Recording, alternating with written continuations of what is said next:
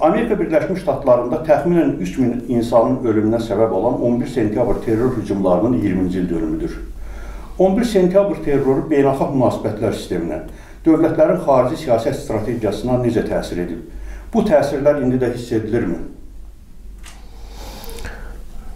Bəli, bu böyük bir hadisə idi və ümumiyyətcə e, bütün dünyaya təsir edən bir hadisə olub. Çünki ilk növbədə onu sübut eləyib ki, biz indi qloballaşma e, dövrü yaşayırıq bir bəşəriyyət olaraq və bu baxımdan hansısa ölkədə baş verən hadisə biz gördük ki, artıq uzun müddətdir ki, bəlkə də 20 ilə 20 ildən çox bu hadisənin təsiri geopolitik e, mənzərəyə öz təsirini göstərib.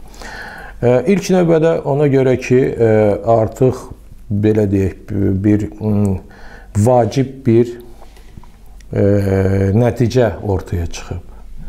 Yəni terrorçuların ə, yaxşısı ya pisi olmur. Ümumiyyətcə terror siyasi həyatında və vaxtı ilə çox ölkələrdə şamil olunan bu ə, e, siyasi uslub ə, e, biz gördük ki, ə, e, hər yerdə onun əsas məqsədləri adi insanlardır və bu hadisə də bu terror aktı onu bir dəfə də sübut eləyibdir. Amerika Birləşmiş Ştatları və NATO ölkələrinin Əfqanistana qoşun çıxarması faktiki 11 sentyabr terroruna cavab idi. 20 il sonra qoşunlar Əfqanistanı tərk etdi. Bu nəyin nəticəsi idi? Dünya hansı səbəbdən terrora qalib gələ bilmir? Səbəbləri nədir? E, bəli, bu e, dünya üzrə hər bir ölkəyə aid eləmək olar. Çünki Azərbaycanı götürsək, o da uzun müddət e, olaraq e, terror həmlələri ilə rastlaşıb və hamımızın yadındadır ki, hansı hadisələr verib. Və siz dediyiniz Afqanistanda olan axırıncı hadisələr onu göstərib ki, terrorla mübarizədə ilk növbədə onu həyata gətirən səbəblərlə mübarizə etmək lazımdır. Yəni təbii terrorçulara hansısa cəzalar vermək, məhv etmək, o da vacib bir məsələdir. Amma terroru e, gündəmə gətirən siyasi e, qüvvələri də ifşa eləyib, onların e, belə deyək, məhv eləmək də çox vacibdir. Və yenə də o fikri təkrarlamaq istəyirəm. Terrorda öz terrorçumuz ya da düşmən terrorçumuz məfhumu artıq gündəmdən çıxmalıdır terror üslubunu istifadə eləyən hər bir e, terrorçu e, gərək e, cəzasını çəksin. Kabul hava limanında baş verən terrora qarşı qabaqlayıcı tədbirlərin görülməməsinin səbəblərini necə izah edərdiniz? Bu da çox ə, ə, təəccüb edici bir ə, görüntülər idi ki, biz görürdük. Yəni NATO kimi nüfuzlu böyük bir təşkilat, Amerika Birləşmiş Ştatları, onun ordusu bu şəkildə e, e, bu prosesləri təşkil olunması təbii ki, çox böyük təəccüb doğurur və e, NATO və Amerika Birləşmiş Ştatlarına imicinə böyük bir zərbə vurulub əslində. Və biz gördük ki, e, bu məsələdə e, daha ciddi mövqedə və daha belə deyək, bacarıqlı siyasət yeridən Türkiyə oldu.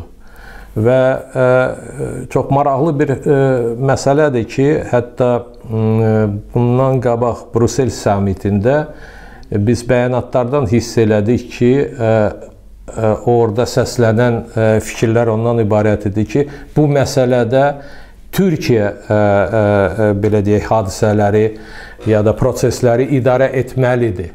Və e, biz gördük ki, orada türk kontingenti öz işini belə deyək, bacarıqla həyata keçirmişdi və hətta indi belə bir e, məsələlər ortaya çıxıb ki, Türkiyə orada aeroportda öz xidmətini davam eləsin. Amma biz gördük ki, Türkiyə bu məsələdə e, çox e, belə deyək, qətiyyətli bir mövqe tutub. Yəni o NATO tərkibində hansısa ə, belə deyək, siyasəti və hərbi siyasəti həyata keçirməkdən ə, belə deyək, ə, boyun çəkildi və ə, uzaqlaşdı və indi Afqanistanla əlaqələri iki tərəfli səviyyədə inkişaf eləməyə niyyətindədir. Bu da hesab edirəm ki, çox maraqlı bir nəticədir bu hadisələrin. Sizin fikrinizcə terror təhdidlərinin dini radikalizm adı altında birləşməsinin səbəbləri nədir? Bunu necə izah etmək olar? Əslində qalsa ə, ə, terror özü-özünə qanla, itkilərlə bağlı olan bir ə, siyasi üslubdur və bunun hansısa ideologiyanı formalaşdırmaq çox çətindir. Ona görə ə, belə deyək, ə, hazır olan dini ideologiyanı istifadə eləmək daha da meyllidirlər. Və yenə də deyirəm, biz görürük ki, əslində qalsa İslamofobiya deyilən bir proseslər dünyada öz yerini tapır. Və biz görürük ki, İslamofobiya əsasında hətta Azərbaycana aid də bəzi addımlar atılır. Və təbii ki, biz bunu görməliyik. Mən hesab eləyirəm ki, əslində qalsa bu terrorçular ilk növbədə hansısa qüvvələrin məqsədlərinə xidmət eləyirlər. Heç də İslamla onların heç bir əlaqəsi yoxdur. Yəni onları gündəmə gətirən, onları bəzən silah verən və taktikanı təşkil eləyən heç də regionda olan ölkələr deyil. Onlar kənardan idarə olunur və təəssüflər olsun ki, e, e, bəziləri şuurlu şəkildə, bəziləri bilmələkdən e, İslam imicinə e, ziyan gətirməkdədirlər. Sərhədlərin qlobal dünyaya açılması, yeni informasiya texnologiyaları, silah alverini, məlumatlandırmanı, çirkli pulların dövriyyəsini sanki asanlaşdırıb. Ekspertlərin fikrincə yeni texnologiyalar və qloballaşma terrorizmin tərkib hissəsi olan transsərhəd mütəşəkkil cinayətkarlığa yol açır. Belə olan halda terrora qarşı dünyada ümumi bir siyasət formalaşıbmı? Demək olar ki, yox. Yəni bu ə, ə, Afqanistanda verən bu axırıncı ə, hadisələr onu göstərir ki, ə, əslində qalsa terrora qarşı ümumi strategiya demək olar ki, yoxdur. Biz görürük ki, hətta NATO-nun üzvləri də öz ə, e, vətəndaşları oradan ə, e, apararkən bu aeroportdan hərəsi öz samolyota öz vətəndaşları elə bir ə, e, otuzdurub ə, çıxardırdılar. Deməli, heç bir ə, hətta NATO səviyyəsində ə, belə deyək, taktika birliyi də ə, biz görmədik. Yəni dünya görmədi onu. Və bu da onu göstərir ki, hələ də o mövzu gündəmdədir. Dünya hələ siz dediyiniz məsələlərə qarşı yetkil ə, ə, ə, taktika və strategiyanı göstərə bilmir və təəssüflər olsun ki, həm terror, həm trans ə, sərhəd cinayətləri, o cümlədən narkotik alveri və digərləri hələ də gündəmdə qalmaqdadılar. Oxşayır ki, hansısa dairələr bunda ciddi maraqları mövcuddur. 11 sentyabr terroru Azərbaycanın təhlükəsizlik sisteminə, xarici və daxili siyasətdə hansı dəyişikliklər yaradıbdı? E, hesab edirəm ki, Azərbaycan da e, öz dövlət e, dövlət strukturlarında da ümumiyyətcə cəmiyyət olaraq bu terrora münasibəti e, çox e, kəskin şəkildə elə bir formalaşdırıb. Çünki biz görürük ki, təhlükəsizlik sistemi e, aeroportlardan olan ə, e, tutmuş və ə, mollarda olan o təhlükəsizlik sistemləri biz hər gün müşahidə eləyirik. Bakıda və digər şəhərlərdə təhlükəsizlik sistemləri, kameraları və s. Yəni bu ə, ə, indiki dövrün tələbləridir. Və biz başa düşməliyik ki, e, dünya kimi biz də bu dünyanın tərkib hissəsi olaraq e, terror mübarizədə təzə üslubları, təzə texnologiyaları istifadə eləməliyik və eləyəcəyik.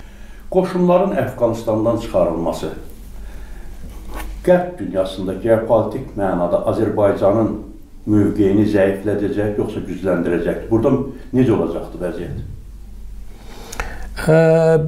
Birincisi post ə, ə, belə deyək, konflikt ya da post ə, Amerika dövrü indi təzə-təzə başlayır və orada müxtəlif qüvvələrin formalaşması və aktivləşməsi ə, çox maraqlı bir konfiqurasiya yarada bilər. Biz görürük ki, artıq taliblərə qarşı müxtəlif etnik belə deyək, müqavimət güclənir. Taliblərin əsas dəstək eləyən ə, qüvvələr də bəllidir. Bu Pakistandır və Çindir. Ə, yaddan çıxartmayaq ki, Pakistanla Çin ə, hərbi müttəfiqdirlər. Əsasən də Hindistana qarşı onların müttəfiqliyi mövcuddur. Çox maraqlı bir məsələni də qeyd etmək lazımdır. Hindistan da artıq Amerika Birləşmiş Ştatları, Avstraliya və digər ölkələrlə indi hərbi blok yaratmaqdadılar. Yəni geopolitik dəyişikliklər artıq baş verir. O ki qalır Azərbaycana mən hesab eləyirəm ki, indiki mərhələdə biz vəziyyəti daha da diqqətlə öyrənib ondan sonra hansısa addımları ata bilərik. Və bu baxımdan e, bizə dəstək olan bu prosesdə Türkiyənin e, bu bölgədə yeritdiyi siyasəti də mən qeyd eləmək istəyərdim. Çünki baxın görün indi e, Afqanistan mövzusu Türkiyə siyasi elitanın da gündəmindədir. Və baxaq görək praktik siyasət hansı şəkildə formalaşacaq və hesab eləyirəm ki, bununla da